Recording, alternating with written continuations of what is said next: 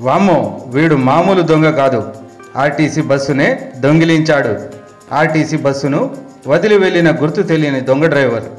Siddipet depot నుండి గుర్తు తెలియని వ్యక్తి బస్సును దొంగిలించి అక్కడి నుండి వెమ్లవాడకు చేరుకొని బస్ స్టాండులో హైదరాబాద్ పాయింట్లో పార్కు చేసి హైదరాబాద్కు ఈ బస్సు వెళ్తుందని కొందరు ప్రయాణికులను ఎక్కించుకొని అక్కడి నుండి హైదరాబాద్కు వెళ్తుండగా కొందరు ప్యాసింజర్ టికెట్ తీసుకోమని డ్రైవర్ని అడగగా మార్గం మధ్యంలో కండక్టర్ వస్తాడని అతను టికెట్ తీసుకుంటారని చెప్పిన బస్ దొంగ.